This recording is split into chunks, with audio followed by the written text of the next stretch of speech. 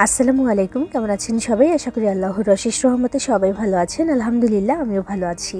শাহিনুর রেসিপিতে সবাইকে আরও একবার ওয়েলকাম জানাচ্ছি। বরাবরের মতো হাজির হয়ে গেছি খুবই মজাদার আরও একটি রেসিপি নিয়ে।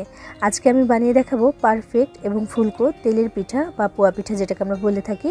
তো এই পিঠাটা বানাতে আজকে আমি কোনো চালের গুঁড়ি ব্যবহার করছি না। আজকে ময়দা আর সুজি দিয়ে এটা বানিয়ে দেখাবো। একদম পারফেক্ট এবং নরম, তুলতুলে হবে আর ফুলকো তো হবে ইনশাল্লাহ তো এই পিঠাটা কীভাবে পারফেক্টভাবে তৈরি করে নিতে পারেন সেটাই আজকে আমি শেয়ার করব আপনাদের সাথে। তো চলুন শুরু করা যাক। একটা মিক্সিং বোল নিয়েছি, এর মধ্যে নিয়ে নিচ্ছি এক কাপ পরিমাণে ময়দা বিসমিল্লাহি রহমানি রাহিম। এক কাপ ময়দার সাথে নিতে হবে আধা কাপ পরিমাণে সুজি। আর এটাই হচ্ছে ঠিকঠাক পরিমাপ। এটা হলে কিন্তু পিঠাটা একেবারে পারফেক্ট হবে আর একেবারে নরম তুলতুলেও হবে। এর সাথে নিয়ে নিচ্ছি আমি আধা কাপ পরিমাণে চিনি। চিনির পরিমাণটা বাড়িয়ে বা কমিয়েও নিতে পারেন। এর মধ্যে দিয়ে দিচ্ছি আমি আধা চা চামচ পরিমাণে লবণ। এবার শুকনো উপকরণগুলোকে একসাথে একটু মিশিয়ে নিচ্ছি। এরপর এখানে নিয়ে নিতে হবে কুসুম গরম পানি। আর এই কুসুম গরম পানিটা এমন হতে হবে যে আপনি আঙুলটা বেশ কিছুক্ষণ ডুবিয়ে রাখতে পারছেন। এমন হলেই কিন্তু হবে, খুব বেশি গরম বা একেবারে ঠান্ডা পানি কিন্তু এখানে ব্যবহার করা যাবে না। এতে করে কিন্তু পিঠেগুলো একেবারেই পারফেক্ট হবে না। তো সেজন্য কুসুম গরম পানি নিতে হবে। আর এখানে আমি এক কাপ পরিমাণে পানি নিয়ে অল্প অল্প করে প্রথমে আমি মিশিয়ে দিলাম। এখানে আমার মোট লেগেছে দেড় কাপ পরিমাণে পানি। আপনার কতটুকু লাগে সেটা আমি বলতে পারছি না, কারণ সুজিটা কিন্তু পুরনো বা নতুন হতে পারে, সেক্ষেত্রে কিন্তু পানিটা একটু কম বা বেশিও লাগতে পারে। সুজি যেহেতু পানিটা একটু বেশি শোষণ করে, সেজন্য। তো এখানে আমি দেড় কাপ পরিমাণে পানি দিয়ে আস্তে আস্তে করে দিচ্ছি আমি পানিটা, দিয়ে দিয়ে একটা ব্যাটার এখানে আমি বানিয়ে নিচ্ছি। তো দেড় কাপ পরিমাণে পানি কিন্তু আমি এখানে দিয়ে দিয়েছি অলরেডি এবার এই ব্যাটারটাকে বেশ খানিকক্ষণ দুই থেকে তিন মিনিট পর্যন্ত এটাকে এইভাবে করে একটু ফেটিয়ে নিতে হবে বা একটু মিক্স করে নিতে হবে। এভাবে করলে কিন্তু পিঠাটা অনেক বেশি সুন্দর হবে আর ফুলকো হবে। তো একটু ধৈর্য নিয়ে দুই থেকে তিন মিনিট কিন্তু এভাবে করে এটাকে একটু নাড়াচাড়া করে দিতে হবে বা মিশিয়ে দিতে হবে। তো আমি কিন্তু সেটাই করছি। এই কাজটা যত ভালো করে করবেন আপনি, পিঠাটাও কিন্তু তত বেশি ফুলকো হবে।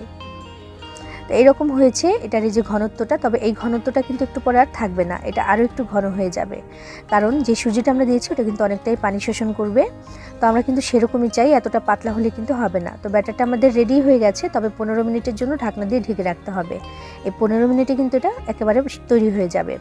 তো পনেরো মিনিট পরে আমি ঢাকনাটাকে তুলে নিয়েছি, এবার দেখাচ্ছি এই যে ব্যাটারটা, এটার ঘনত্ব দেখেন কতটা ঘন হয়ে গেছে, আর আমাদের কিন্তু এরকমই চাই। এখন আমি আবার এক মিনিটের মতো এটাকে এভাবে করে একটু নাড়িয়ে নিচ্ছি বা একটু মিশিয়ে নিচ্ছি, এতে করে কিন্তু পিঠাটা খুব সুন্দর হবে। আর যে সুজিটা আমরা দিয়েছি, ওটা কিন্তু ভিজে ফুলে একেবারে অনেকটাই ঘন হয়ে গেছে। তো দেখতে পাচ্ছেন এটার ঘনত্ব, এরকম ঘনত্ব না হলে কিন্তু আপনার পিঠাটা একেবারেই পারফেক্ট হবে না। তো সেটা একটু খেয়াল করে রাখেন, এটা একটু এরকমই কিন্তু হতে হবে।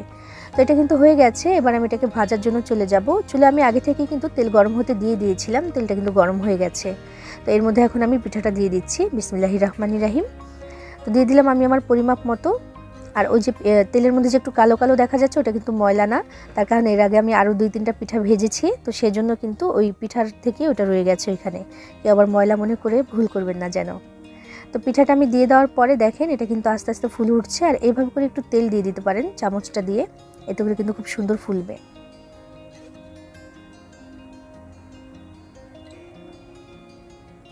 মাশাল্লাহ পিঠাটা কিন্তু খুব সুন্দর ফুলেও গেছে দেখতে পাচ্ছেন। তো এবার এটাকে উল্টাপাল্টা করে একটু ভেজে নিলেই হবে। পিঠাটা কিন্তু একদম সুন্দর করে ফুলকো হয়ে গেছে আর এই ফুলকোটা কিন্তু ফুলকোই থাকবে, এটা কিন্তু পরে আর চুপসে যাবে না।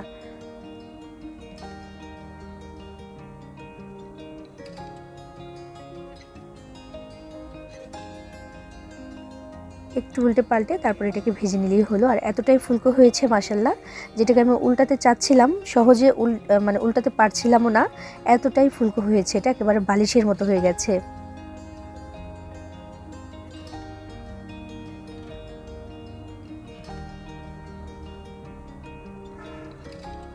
মশলা খুব সুন্দর হয়েছে আমাদের পিঠাটা। তো এটাকে এভাবে করে আমি ভেজে তারপর তুলে নেব, আর একইভাবে সবগুলো পিঠাই এখন ভেজে নিতে হবে।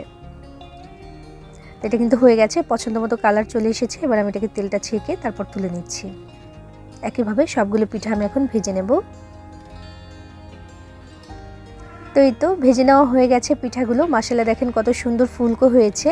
আর এটা খেতে কিন্তু সত্যিই অসাধারণ লাগে। এটা মনেই হয় না যে সুজি দিয়ে এটা আপনি বানিয়েছেন। খুবই ভালো লাগে আর একেবারে নরম তুল তুলেও কিন্তু থাকে। আর দেখেন, এটা কিন্তু ঠান্ডা হয়ে গেছে, তারপরেও কিন্তু এটা একেবারে চুপসে যায়নি। মাসাল্লাহ পারফেক্ট হয়েছে আমাদের পিঠাটা। আর আপনিও কিন্তু চাইলে ঝটপট করে বাড়িতে এটা বানিয়ে নিতে পারেন। অনেক সময় এমন হয় যে চালের গুঁড়ি থাকে না বাসায়, তবে পিঠা খেতে ইচ্ছা করে। তখন কি করব বলেন তো? তখন কিন্তু এইভাবে আপনি বানিয়ে নিতে পারেন ময়দা আর সুজি দিয়ে পারফেক্টভাবে তেলের পিঠা বা পুয়া পিঠা। বানিয়ে খেয়ে দেখবেন সবাই পছন্দ করবে আর একবারে পারফেক্টও হবে। ভালোই লাগবে ইনশাআল্লাহ। সবাই ভালো থাকবেন। সবার জন্য সবাই দোয়া করবেন। আল্লাহ হাফিজ।